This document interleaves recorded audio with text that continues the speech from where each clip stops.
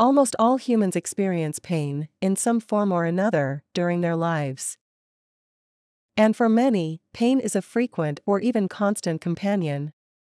A recent study found that over 20% of US adults live with chronic pain. Pain is more than just a physical sensation. It's a complex interplay of unpleasant sensory and emotional experiences that signals potential or actual tissue damage. Our bodies have a built in alarm system called nociceptors, a network of specialized pain sensing nerve cells. These cells detect harmful stimuli such as extreme temperatures, sharp objects, or chemical irritants. When activated, nociceptors transmit signals along nerve fibers to the spinal cord and ultimately to the brain, where the pain sensation is perceived. While acute pain alerts us to potential tissue damage, moderate to severe pain significantly impacts quality of life. This necessitates medical intervention. Let's look at the commonly used pain relievers.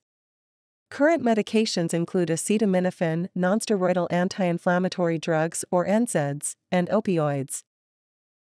When you're injured or ill, your body produces substances called prostaglandins that cause inflammation, pain, and fever. Acetaminophen, also known as paracetamol, works mainly in the brain. By blocking prostaglandin production, paracetamol turns down the brain's pain signals. Like acetaminophen, the NSAIDs block the production of prostaglandins. However, these drugs target inflammation throughout the body.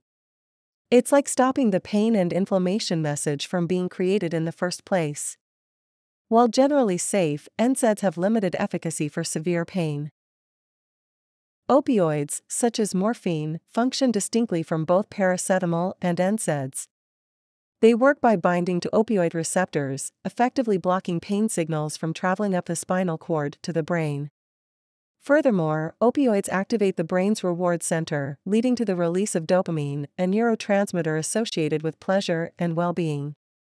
This dual action not only provides potent pain relief, but can also induce feelings of euphoria.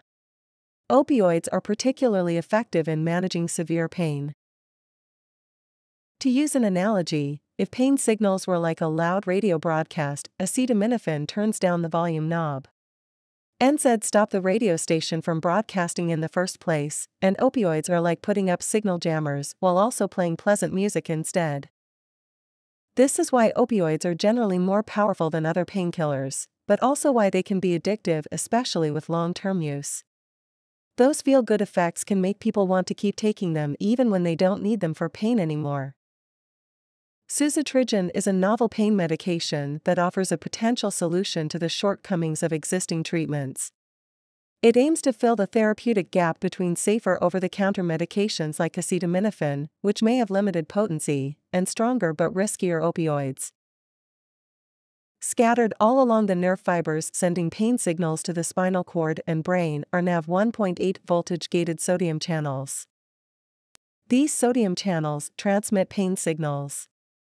They act as gates that allow the influx of sodium ions into the nerve cells, generating the electrical signals necessary for pain transmission. Suzetrigine stops pain signals before they can reach the brain. It blocks sodium channels in peripheral nerve cells, making it hard for those cells to transmit pain sensations. Because the drug acts only on the peripheral nerves, it does not carry the potential for addiction associated with opioids. Suzetrigine has shown promising outcomes in clinical trials for acute pain, demonstrating efficacy and a favorable safety profile. However, the long-term efficacy and safety of suzetrigine in managing chronic persistent pain conditions remain to be fully established. And importantly, the drug has yet to prove more effective than opioids. The U.S. Food and Drug Administration has granted suzetrigine priority review. They are expected to make a decision regarding suzetrigine's use in moderate to severe acute pain by January 30, 2025. If approved, suzetrigine could represent a breakthrough in pain management.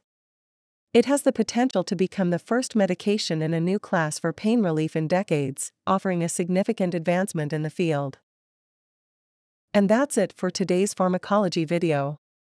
If you enjoyed this video, please give it a thumbs up and subscribe to the channel for more pharmacology content.